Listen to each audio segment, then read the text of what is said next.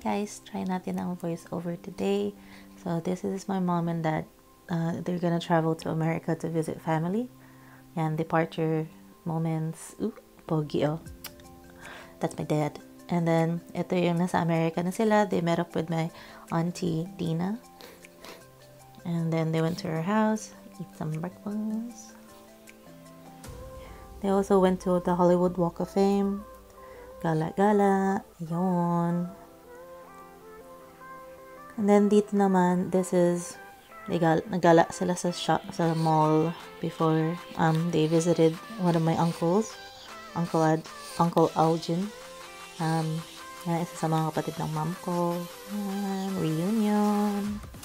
Tapos ito naman, they went dinner, lunch, or something. I forgot to ask. But that's my Auntie Jay, my uncle's wife. And then on my mom's birthday, they went to the church. Um, yan yung ano, tinawag daw ng priest lahat ng may birthday on October and they and they gave them rosaries. Yun. And then after that, nag-reunion sila with my grandma and with my other uncle, um, Uncle Alvin and his wife Valerie, Auntie, Auntie Valerie. And yun, my Uncle Albert was there as well, but hindi siya nagpa-picture. Yeah. Reunion first time ng parents ko mag-visit sa US and yun, para makita family nila. Uh, these are my cousins on my auntie Didit side. Um, Auntie Andrea and Uncle Lloyd. And that's my auntie, Auntie Didit. And they went to SeaWorld. Sorry guys. Yan. Gala-gala sila. That's in San Diego naman. Yung yung auntie Dina ko and uncle are in L- LA somewhere somewhere else Pasadena and then yan so so suka sta pack hmm. yung tatay ko ay dedicated videographer ng aking mother hmm. muni muni under the sea life hmm. yun um ayun hindi ko alam kung ano sasabihin ko. So, enjoy nyo na lang muna tong video part ng ng kanilang pagmuni-muni sa SeaWorld. Yes.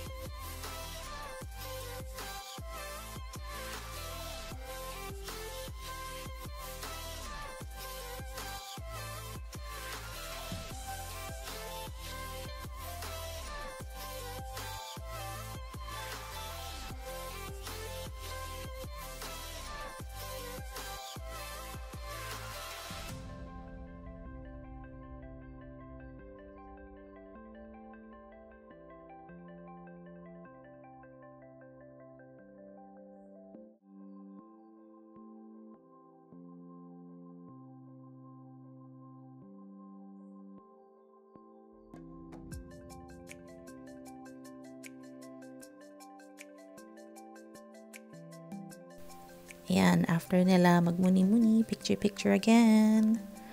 Mm, yung mga whales. Mm, playground. Mm, with the flamingos. Mm, cute daw. Eee, lovers. cute. Mm, ayan, random pa-picture sa mga bagay-bagay. Ayan, paalis na sila. Mm.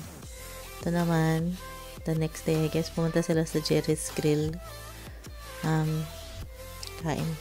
Oh, halo-halo-ness. Nakamiss din kumain sa Jerry's Grill. Huling kain ko ata sa market-market pa eh, sa may Makati sa Pilipinas. Hmm, ito naman, pinsan ng aking dad. Pinisita rin nila. Tapos ano, after that, pumunta sila sa ano to, military uh, museum or store. O, sa store. And then, nag, ano, pumunta rin sila sa parang museum na mga, ano, planes, aviation museum. Ayan o. Hmm. Taray.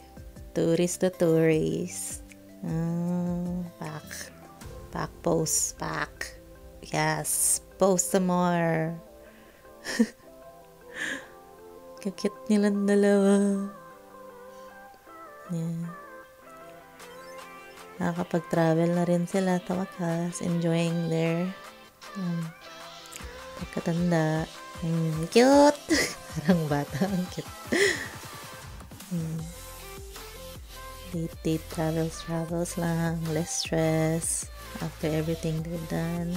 Working, raising cute children. Oh, di ba? Fun-fun na lang. Mm, cute, cute. Sensya na guys, ang cute lang ng parents ko. Tuwan-tuwa lang talaga ako.